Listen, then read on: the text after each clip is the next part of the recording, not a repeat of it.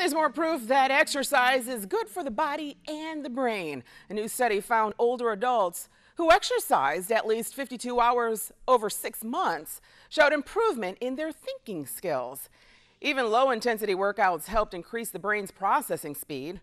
But the amount of activity does matter. People who exercised for 34 hours over the same time period did not show any improvement.